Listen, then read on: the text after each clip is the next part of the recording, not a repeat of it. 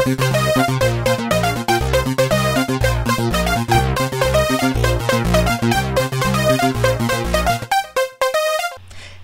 everybody, how is it going? I hope you're having a great time.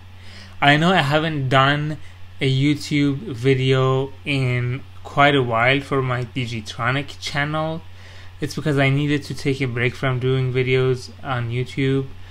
Uh, I'm hoping to start that back up again this week. This video is going to be about Final Cut Pro X and what it brings to uh, the rest of the applications that used to be on Final Cut Pro uh, Suite or Studio Suite. Uh, myself, I'm interested in Motion. Apple's Motion, one of the applications that used to be in Final uh, Final Cut Studio 7.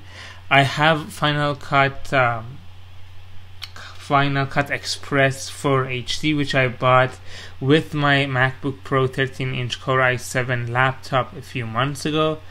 Uh, so I don't really need Final Cut Pro X. It looks amazing though, I'm gonna tell you right now. The background rendering, other NLEs have had it for ages. It's awesome to finally have background rendering on Final Cut Pro, even though mine, the Final Cut Express that I have, doesn't have it unfortunately. But that's not going to be enough reason for me to shell out $299 for another non-linear editing program. That's another thing i want to. get to 209 uh, $299 for a non-linear editing program is amazing. It's an amazing price point nobody can even touch that on the pc side or the mac side doesn't matter if you want a pro level editing program I'm not talking about the lower than pro like Sony Vegas or um, Camtasia Studio or whatever those are called. Those are good programs too, but I'm talking about pro industry level programs. Adobe Premiere Pro, $799 on the Mac or the PC.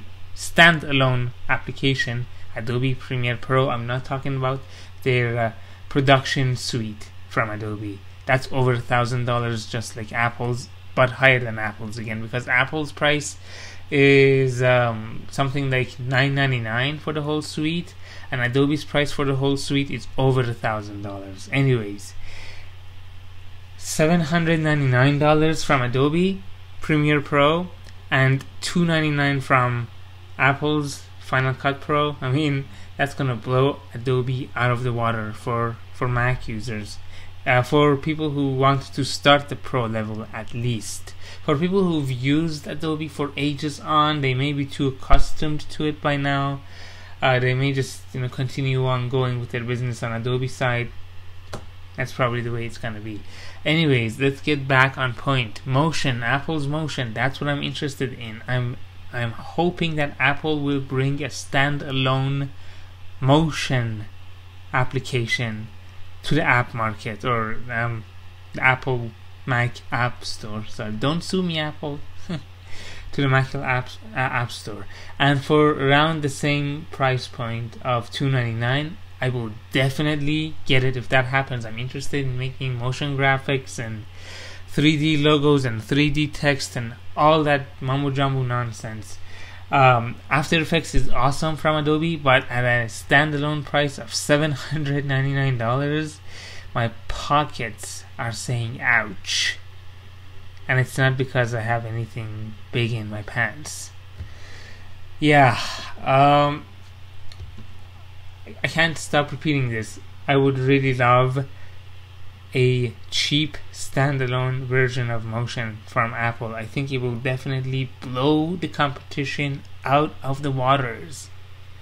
Imagine if you have either like had Adobe or the other editing programs on the Mac and it's getting old now, you want to update, but at the same time you're, you know, looking around to see what other options are available for you and you either have the option the option to upgrade to another version of Adobe Suite, which by the way is a great great application. I love Adobe Suite. Just the price point here is the my point. So expensive. Or you can pay hundreds less even if you buy each application individually from Apple, you'll end up paying hundreds less for the Apple collection of the same programs. Which one are you gonna do? You're gonna go the Apple way in this case. So please, Apple, bring a standalone version of Motion. That program, in my opinion, it may not be quiet After Effects, but it still kicks ass. And that's what I'm looking forward to this June hopefully this June they will bring a standalone version of Motion. That's what I need. That's what I'm praying for. I'm I'm excited for it, even though there's no news of it yet. Apple said this is what they said when they previewed Final Cut Pro X. They said there is updates in the works for the rest of the suite, but that's all they said. They didn't say whether they're gonna bring motion and color and all that as individual applications you can purchase at a lower price point, around 299 just like Final Cut Pro X, or whether they're gonna keep them in a suite at a higher price point. Nobody knows except for Steve Jobs, probably laughing and drinking it up. no, he's getting treatment for his cancer, so he won't be drinking. Anywho, thank you for watching this video. Leave me comments here on my YouTube channel.